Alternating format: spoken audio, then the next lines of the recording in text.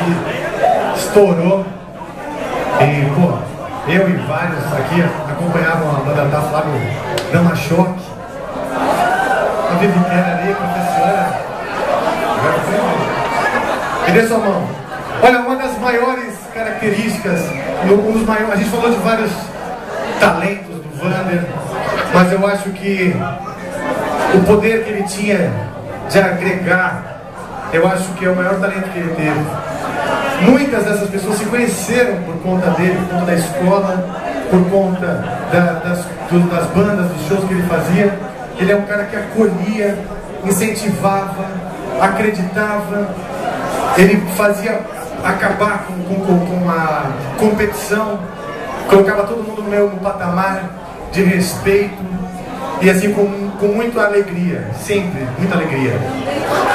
Então, Vander, nos dê sua mão agora.